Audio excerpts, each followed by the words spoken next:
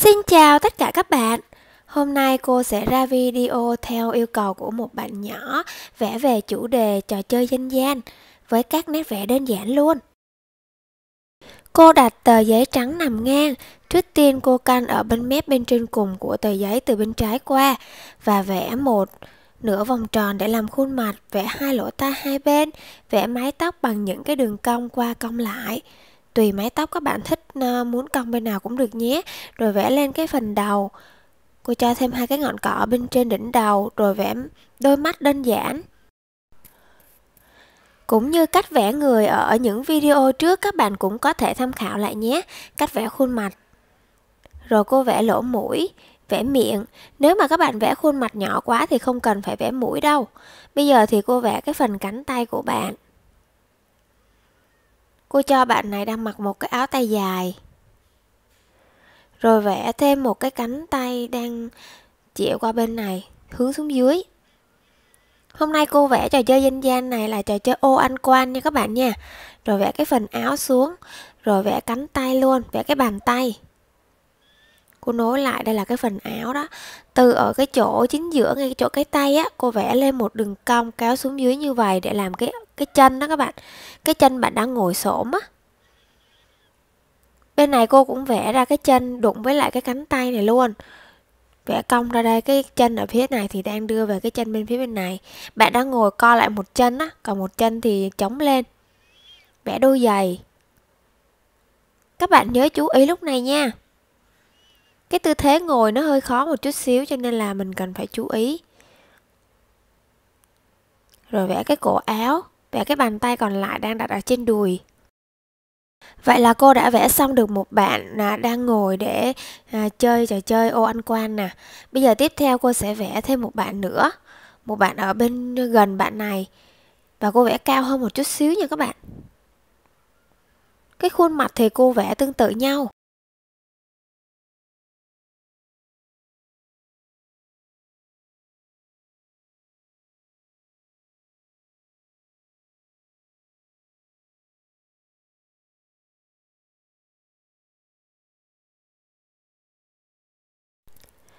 Ở phần cánh tay của bạn này thì cô vẽ cái phần cánh tay cho bạn đang mặc một cái áo tay ngắn cho nên là cô sẽ vẽ cái ống tay áo trước.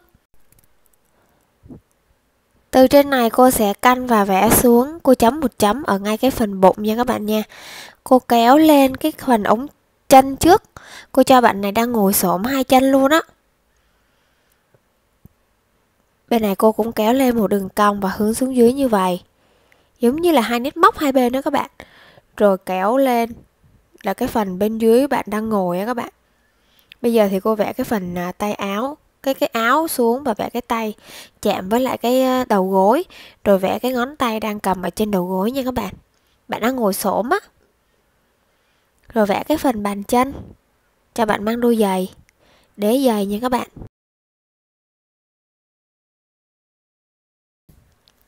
Cổ áo thì cô vẽ cổ áo tròn, các bạn cũng có thể vẽ những cái cổ áo kiểu khác tùy theo ý thích của mình.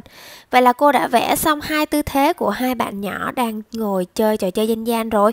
Tiếp theo thì cô vẽ thêm một bạn nữa, bạn này cô cho là bạn gái nha. Cũng cái mái tóc và cái phần đầu thì tương tự nhau. Ở bạn gái thì cô vẽ thêm cái mái tóc cho nó thêm hai cái búi tóc để vẽ cái mái tóc dài đó thôi. Và cái lông mi thì cô vẽ dài hơn.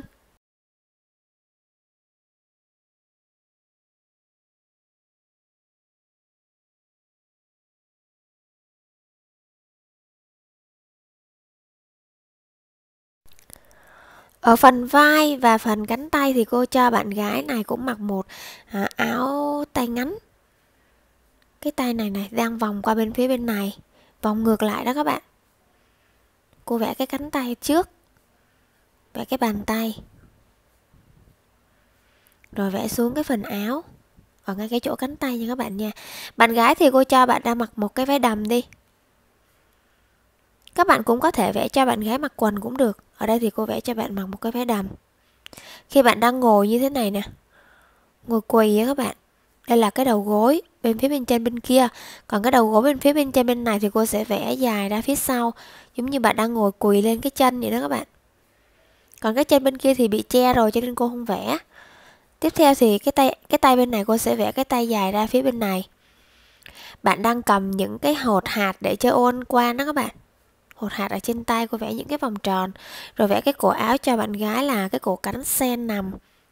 Bây giờ thì vẽ cái mái tóc cho bạn gái để trông giống hơn, đó là cô cho bạn gái cột hai bím tóc hai bên. Cột tóc hai bên nha các bạn. Và cô đã vẽ xong được thêm một bạn gái nữa rồi. Tiếp theo thì ở bên trên này cô vẽ thêm một bạn đang đứng đi. Cô vẽ, ở đây cũng là một bạn gái, bên kia hai bạn trai và hai bạn gái này đang thi đấu chơi ô ăn quan với nhau cũng được nhé.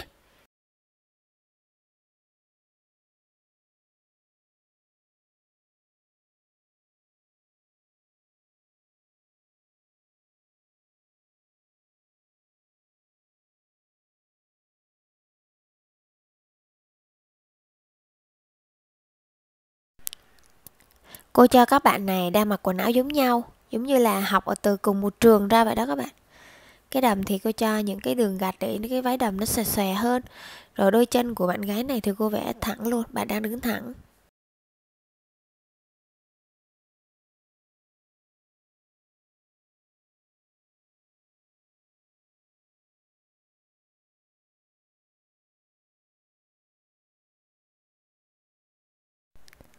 Phần cánh tay của bạn này cô vẽ ở phía sau, đưa ra phía sau, bạn đang nhìn bạn ở phía trước đang chơi vậy đó các bạn. Giống như hai người đang cùng một đội. Mái tóc của bạn gái này cô cho bạn có mái tóc dài. Và thêm một cái ờ, bờm tóc nữa. Và cô đã vẽ xong được bốn bạn đang chơi trò chơi dân gian là trò chơi ờ, ô anh quan nha các bạn nha.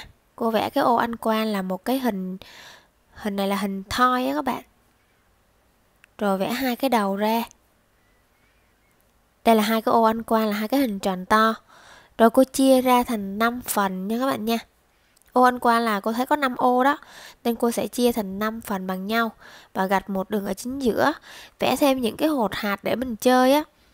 Như hồi xưa cô hay chơi thì chơi bằng những cái viên đá hoặc là cái hạt của hạt na các bạn, hạt quả na màu đen đen á. Và đây là cô vẽ bạn đang chơi chỗ này là những cái cái quân mà bạn đã ăn được, những cái hạt mà bên, mỗi bên ăn được đó các bạn. Bây giờ thì cô trang trí thêm cho bức tranh này bằng cách là vẽ thêm những cây cỏ, bụi cỏ ở phía trước. Ở phía xa xa thì cô vẽ thêm cái đường mặt đất, ở phía xa luôn nha các bạn nha. Rồi cô vẽ thêm những cái bụi cây, rồi những cái ngôi nhà cũng được nha các bạn nha những bụi cây, những ngôi nhà ở phía xa này. Giống như các bạn này đang ngồi chơi ở trong khuôn viên trường hoặc là chơi ở ngoài vườn gì đó cũng không sao nha các bạn. Phía xa này cô vẽ thêm những cái chi tiết. Các bạn cũng có thể vẽ thêm ít ít thôi, tùy theo ý thích của các bạn nhé. Rồi cô vẽ thêm những cái bụi cỏ đang mọc rải rác, thêm những cái hòn đá nhỏ.